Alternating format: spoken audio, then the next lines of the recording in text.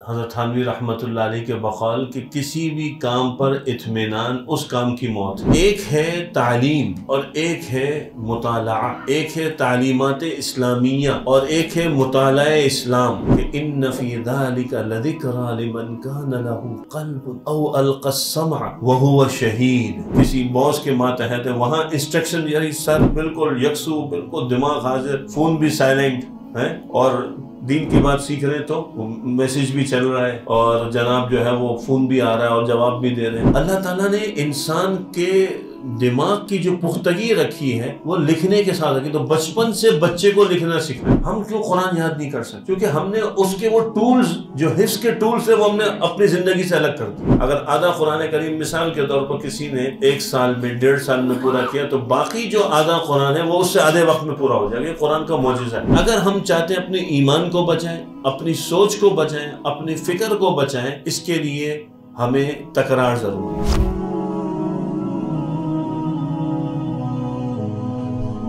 الحمد لله وكفى وسلام على عباده الذين اصطفى. أما بعد فأعوذ بالله من الشيطان الرجيم. بسم الله الرحمن الرحيم. اقرأ باسم ربك الذي خلق. خلق الإنسان من علق.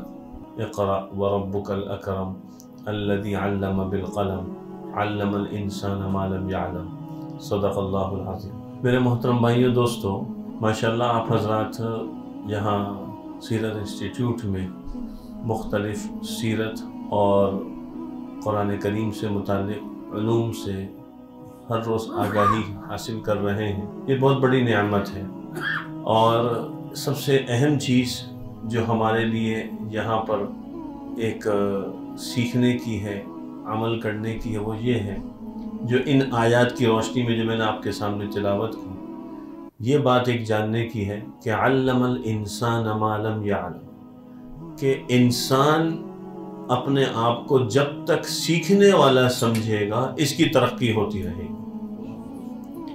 اگر میں نے یہ سمجھ لیا کہ میں تو بہت پڑھا ہوا ہوں، میں تو بہت سیکھا ہوا ہوں، تو حضرت تھانوی رحمۃ اللہ علیہ کے بقول کہ کسی بھی کام پر اطمینان اس کام کی موت ہے۔ سمجھا، آپ نے اپنا علم کا دروازہ بند کر دیا۔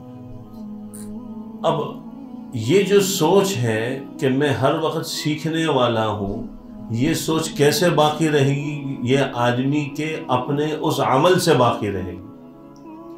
یعنی ایک ظاہری مثال سے اگر ہم سمجھیں، ایک آدمی ہے، زندگی بھر خوراک لیتا رہا، کھاتا رہا کھاتا رہا، بھوک لگتی تھی، کھاتا لیکن ایک وقت آتا ہے عمر ایسی ہو جاتی ہے، بیماریاں لگ جاتی ہیں، تو اس کی بھوک مر جاتی ہے۔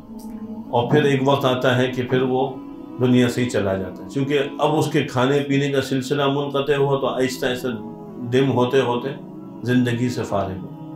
ایک ایمان والے کی شان یہ ہے کہ وہ اپنے آپ کو ہمیشہ طالب علم سمجھتا رہے۔ ہمارے تبلیغی جماعت کے بہت بڑے عالم گزرے ہیں، حضرت مولانا سعید احمد خان صاحب رحمۃ اللہ علیہ۔ ان کے متعلق یہ بات مذکور ہے کہ انہوں نے اپنے پاسپورٹ پر اپنا پیشہ طالب علم لکھوایا تھا۔ اور مجھے یاد پڑتا ہے کہ حضرت کی تاریخ ولادت وہ انیس سو دو یا انیس سو تین ہے۔ اس کے آس یا چار ہوگی۔ اور تبلیغ میں ابتدائی زمانے سے لگے انتقال ہوا ہے نائنٹین نائنٹی ایٹ میں یا نائنٹی نائن میں، تقریباً سو سال عمر ہوئی۔ اور ان کے آخری زمانہ کا جو عرصہ تھا یعنی آخری کے پانچ چھ سال، تو مجھے الحمدللہ حضرت کی زیارت بھی ہوئی، حضرت کا بیٹھنا بھی ہوا، نائنٹی فور کے بعد سے لے کر آخر تک۔ تو اتنا بڑا مفسر قرآن، لیکن آخر وقت تک کیا لکھ رہا ہے کہ میں طالب علم سیکھنے والا۔ تو ہم اپنی ایک سوچ یہ جب تک نہیں بنائیں گے، ہم ترقی نہیں کر سکتے۔ کہتے ہم نے بہت پڑھ لی۔ یعنی ایک بسم اللہ کی تفسیر لکھتے لکھتے امام راضی رحمۃ اللہ علیہ کئی جلدیں لکھتے چلے گئے۔ علم ہی ختم نہیں ہوتا۔ تو پہلی چیز تو یہ ہمارے سامنے ہونی چاہیے۔ تو یہ اس آیت کے اندر ایک بات یہ سمجھائی۔ دوسری بات، چونکہ تھوڑا سا یہاں تعلیمی ماحول بھی ہے اور ماشاءاللہ مختلف شعبوں سے وابستہ ہیں، تو میں کچھ دعوتی بات کو بھی ساتھ میں جوڑ کر عرض کر رہا ہوں۔ کہ ہمارا جو علم باقی رہے، ہمارا یہ ماحول باقی رہے، ہماری یہ تربیت باقی رہے، اس کے لیے تکرار ضروری ہے۔ بھائی، میں نے آج کا مثلا سبق مثال کے طور پر اگر سورہ وضحا کا ہے، میں نے ایک دفعہ پڑھ لیا۔ اب میں یہ کہتا ہوں کہ میں تو ایک دفعہ پڑھ لیا، مجھے پھر ضرور نہیں، تکرار مطلوب ہے۔ بار بار پڑھنا۔ اقرا بسم ربک الذی خلق۔ اور پھر کیا اقرا وربک الاکرم، دو دفعہ اقرا فرمائیں یہ تکرار کی طرف دلالت کر ہمارے ہاں یہ تکرار کی جو کیفیت ہے، یہ آہستہ آہستہ ایک عمومی تعلیم سے ختم ہوتی جا رہی ہے۔ اور اس کی وجہ سے جو ایک پختگی شخصیت میں ہونی تھی، وہ نہیں رہی۔ پھر ظاہری حروف کے پڑھ لینے کا نام تو علم ہے۔ لیکن پختگی نہیں۔ ہے اچھا یہاں ایک اور چیز اپنے بڑوں کی یاد آ گئی کہ ایک ہے تعلیم اور ایک ہے مطالعہ۔ ایک ہے تعلیمات اسلامیہ اور ایک ہے مطالعہ اسلام۔ تعلیم بغیر معلم کے نہیں ہے، کیونکہ تعلیم یہ مصدر ہے۔ پڑھا ہے۔ تعلیم مصدر ہے۔ اس سے اس میں فائل نکلا۔ وہ کیا ہے معلم. اور اس سے جو اس میں مفعول معلم ہے، یا متعلم کہہ لیں، تعلم کے باب سے، تفاعل سے، تو تعلیم کے ساتھ استاد اور شاگرد جڑے ہوئے تعلیم میں استاد اور شاگرد کا ہونا ضروری ہے، صرف کتاب کا پڑھنا نہیں ہے۔ اور مطالعہ، نفس مطالعہ، بغیر استاد کے، اس میں استاد نہیں ہے۔ آج کے دور میں جو فکری گمراہیاں جو پھیل رہی ہیں، بقول مولانا علی میاں رحمۃ اللہ علی کے حضرت کا یہ بیان ہے کوئی تقریباً آج سے ستر اسی سال پرانا۔ جس میں انہوں نے فرمایا کہ ایک وقت میں دیکھ رہا ہوں کہ فکری ارتداد پھیلے گا، کہ تم اپنے گھروں میں دیکھو گے کہ تمہارے ساتھ نماز پڑھنے والے، روزہ رکھنے والے، زکوٰۃ دینے والے، حج کرنے والے فکری طور پر مرتد ہو چکے ہوں گے۔ مرتد کب ہوں گے؟ چونکہ مطالعہ ہوگا بغیر مربی کے، بغیر معلم کے۔ قرآن کی یہ آیت سمجھا رہی ہے کہ بار بار پڑھنا ہے۔ اب رسول اللہ صلی اللہ علیہ وسلم کے توسط سے ہمیں یہ بتایا جا رہا ہے کہ تکرار کرو۔ تکرار کس سے ہوگا؟ معلم سے ہوگا، ساتھی سے ہوگا، پڑھنا ہوگا۔ تو یہ ایک مطلوب ہے۔ اگر ہم چاہتے ہیں اپنے ایمان کو بچائیں، اپنی سوچ کو بچائیں، اپنی فکر کو بچائیں، اس کے لیے ہمیں تکرار ضروری ہے۔ اچھا اب تیسری چیز۔ جب آپ نے اپنے آپ کو مثلا یہ سمجھ لیا کہ ہم سیکھنے والے ہیں، یہ آپ نے سمجھ لیا کہ ہمیں تکرار بھی مطلوب ہے، تو اب تیسرے نمبر پر جو بنیادی چیز ہے کہ آپ کے سارے سننے کے، آپ کے دیکھنے کے، آپ کے بولنے کے، آپ کے لکھنے کے سینسز اس کے اندر، اس لفظ کے اندر سارے موجود ہیں۔ اقرا۔ بہت سی دفعہ ایسا ہوتا ہے، استاد پڑھا رہے ہوتے ہیں، کتاب سے طالب علم کا کتاب ہی نہیں ہوتا وہ کہتا ہے میں ضرور دیکھیں میں تو سن رہا ہوں۔ نہیں اقرا کے اندر یہ بات ہے کہ آپ کی آنکھیں جو ہے نا استعمال ہو رہی ہوں، آپ کے سامنے کوئی چیز ہونی چاہیے۔ اور پھر اسی طرح آپ کا جب آنکھ استعمال ہو رہی ہے، اب آپ کو پڑھایا جا رہا ہے، تو آپ کا کان استعمال ہونا چاہیے۔ ہمارے بنوٹون کے تیسرے محتمل اور حضرت علامہ سید محمد یوسف بنوری رحمۃ اللہ علیہ کے داماد وہ فرماتے تھے کہ یعنی سبق میں کوئی طالب علم ہوتا، کتاب بھی ہوتی اور بعض اوقات اس بچہ غائب ہو جاتا نا دماغی طور پہ۔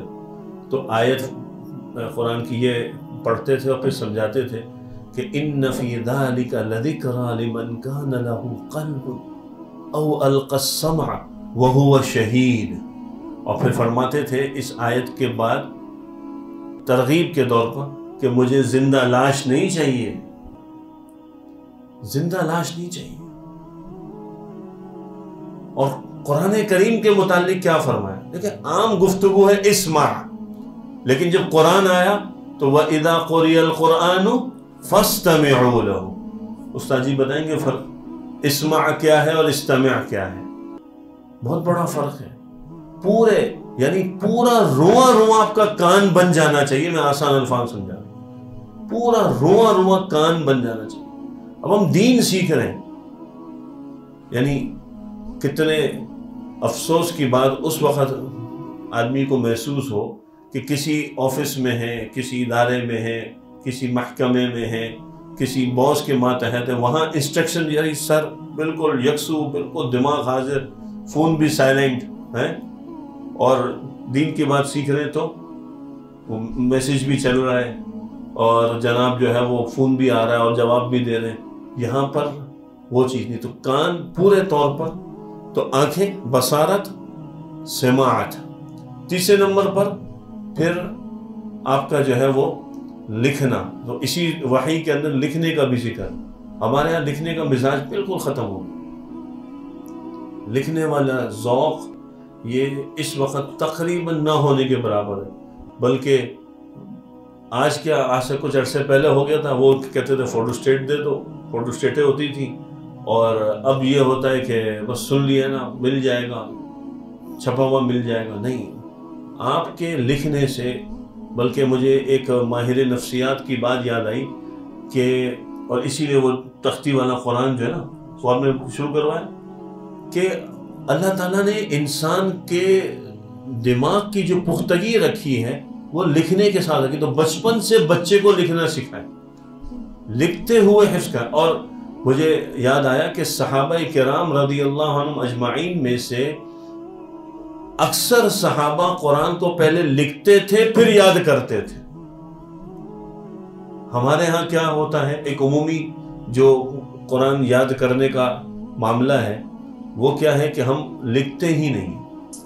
اور ایک اور بات، اسی قرآن کے حص کے متعلق کہ قرآن کتنے عرصے میں اترا بھائی؟ تیئیس سال کے عرصے میں۔ تیئیس سال کے عرصے میں جب قرآن مکمل ہوا، تو جس نے پہلی وحی سنی اور جس نے آخری وحی سنی، آپ صلی اللہ علیہ وسلم کے ساتھ ابتدائی دور، تو اس کو حفظ کرنے میں کتنا سال لگا؟ تیئیس سال لگا۔ ہم کیا سوچتے ہیں کہ ہم تو دو تین سال میں حافظ بن جائیں ایک روایت میں آتا ہے کہ حضرت جبریل علیہ السلام رسول اللہ صلی اللہ علیہ وسلم کو پانچ پانچ آیتیں کر کے حفظ کرواتے تو مجھے بتائیں کہ بڑی عمر کے لوگ حفظ کر سکتے ہیں کہ کیا مشکل ہے؟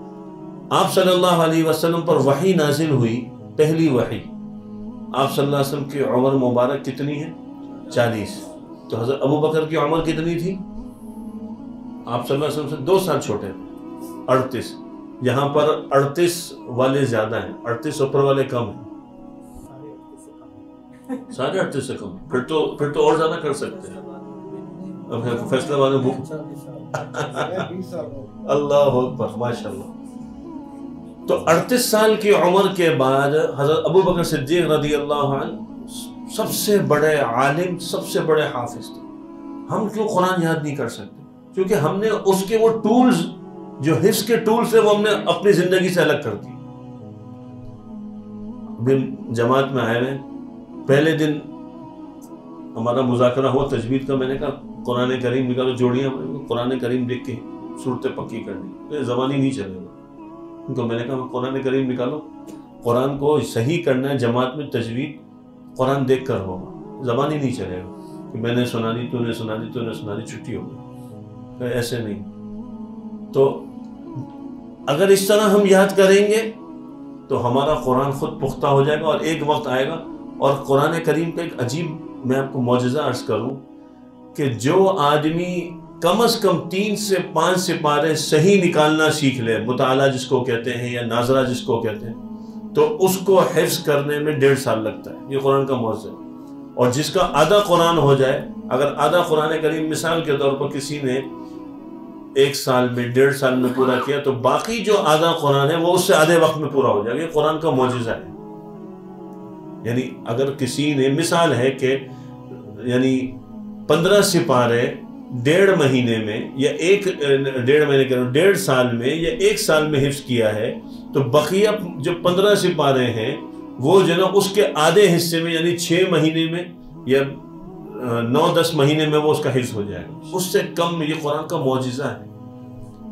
تو اب آپ بتائیں، آپ میں سے ایسا کون ہے جو یہ امید نہ رکھتا ہوں کہ کل قیامت میں میں حافظوں میں اٹھایا کوئی ہے ایسا؟ میں الٹی تشکیل کرتا ہوں، کیونکہ ٹائم بھی ختم ہو رہا ہے، ہمیں تشکیل کرنی اور ایک بات میری رہ گئی۔ مفتی صاحب نے کہا ڈاٹ پہ ختم کرنا ہے۔ میں کہتا ہوں کہ وہ ہاتھ اٹھائے کہ جس کو حافظ صورت میں کل قیامت میں کھڑا نہیں ہونا، اٹھائے بھائی میں تو پہلے ہی کہا الٹی تشکیل ہوتی۔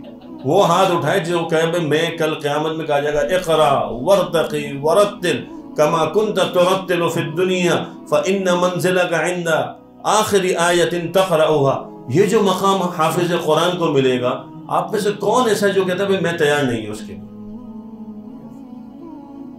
میں بولوں نا کون تیار ہے تو چند ہاتھ اٹھائیں گے۔ تو میں بولوں گا کون تیار نہیں تو کوئی بھی ہاتھ نہیں اٹھائے گا سارے ہی تیار ہوگا تشکیل ہی الٹی ہے یہ۔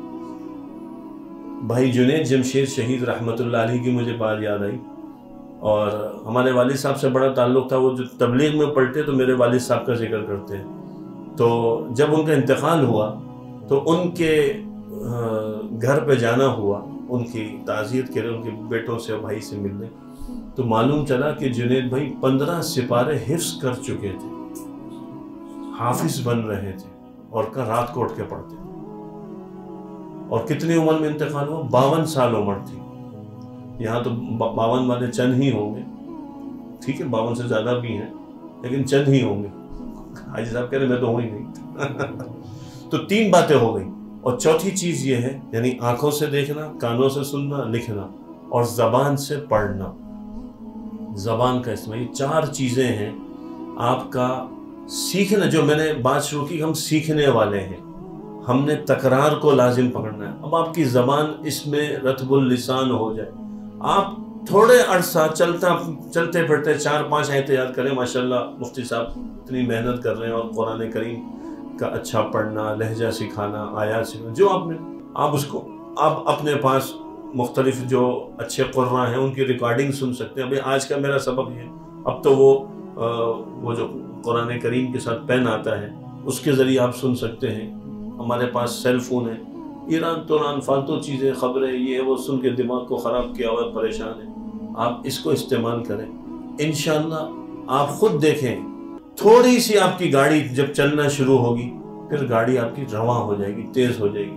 اور آپ، میں اس بات کو یعنی دعویٰ تو نہیں کرتا، لیکن قرآن کا ایک معجزے کو سمجھتے ہوئے یہ بات بصیرت سے کہہ سکتا ہوں کہ اگر کوئی بڑی عمر کا آدمی یہ کام شروع کر دے تو چھوٹے بچے سے زیادہ آگے وہ پڑھ سکتا ہے۔ یہ قرآن کا معجزہ ہے۔ ایسا نہیں کہ وہ نہیں کر سکتا۔ اور آخری گزارش کہ ہماری ہر دعوت اور ترغیب جو ہے نا وہ تشکیل کے ساتھ ہوتی ہے۔ ورنہ پھر کام ادھورا رہ جاتا ہے نا۔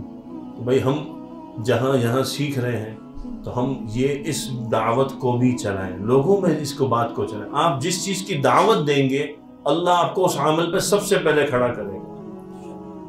آپ آپ نے سن لیا، آپ کو اچھا لگا۔ اب آپ اس کی دعوت دینا شروع کر دیں۔ وہ جو دکان پہ سودا بیچتا ہے نا، وہ اپنے سودے کی اتنی تعریفیں کرتا ہے۔ وہی چیز آپ پڑوس والے کی وجہ وہ اس کی برائی کرے گا۔ لیکن وہ اپنے سودے کی تعریف کرتا ہے، اس کا مال بکتا ہے۔ تو ہم جس چیز کو زندہ کرنا چاہتے ہیں، یہ ہماری تشکیل ہے۔ ہم اس کی دعوت دینا شروع کریں لوگوں کا ذہن بنائیں آج سے اہلیہ کا ذہن بنائیں کہ بھائی تم نے بھی یاد کرنا آپ دیکھیں، آپ کی دعوت مؤثر ہوگی، اللہ آپ کو جو ہے نا اس پر لے آئے گا دوسرا آئے گا نہ آئے، آپ انشاءاللہ پورے کھڑے ہو جائیں گے۔ ٹھیک ہے، انشاءاللہ۔ اللہ تعالی ہم سب کو عمل کی توفیق عطا فرمائے۔ جزاک الحمد للہ رب العالمین۔ اللہم صلی علی سیدنا محمد وعلی آل سیدنا محمد وبارک وسلم۔ اللہم ربنا آتنا فی الدنیا حسنہ وفی الآخرت حسنہ وقنا عذاب النار. اللہم لا سہل إلا ما جعلته سہلا وأنت تجعل الحزن سهلا إذا شئت. اللهم لا سهل إلا ما جعلته سهلا وأنت تجعل الحزن سهلا إذا شئت. اللهم لا سهل إلا ما جعلته سهلا وأنت تجعل الحزن سهلا إذا شئت. ربي يسر ولا تعسر وتمن بالخير وبك نستعين. يا فتاح، يا عليم، سبحانك لا علم لنا إلا ما علمتنا، إنك أنت العليم الحكيم. اللهم أرنا الحق حقا وارزقنا اتباعه، وأرنا الباطل باطلا وارزقنا اجتنابه. اللهم اللهم ربنا لا تزغ قلوبنا بعد إذ هديتنا وهب لنا من لدنك رحمة، إنك أنت الوهاب. اللهم إليك ربي فحببنا. وفي أنفسنا لك ربي فذللنا وفي أعين الناس فعظمنا ومن سيء الأخلاق فجنبنا وعلى صالح الأخلاق فقومنا وعلى الصراط المستقيم فثبتنا وعلى الأعداء أعدائك أعداء الإسلام فانصرنا. اللهم إنا نسألك من خير ما سألك منه عبدك ونبيك محمد صلى الله عليه وسلم. ونعوذ بك من شر ما استعاذ منه عبدك ونبيك محمد صلى الله عليه وسلم وأنت المستعان وعليك البلاء ولا حول ولا قوة إلا بالله. وصلى الله وسلم على رسوله سيدنا محمد وعلى آله وأصحابه وأتباعه وأمته أجمعين. آمين.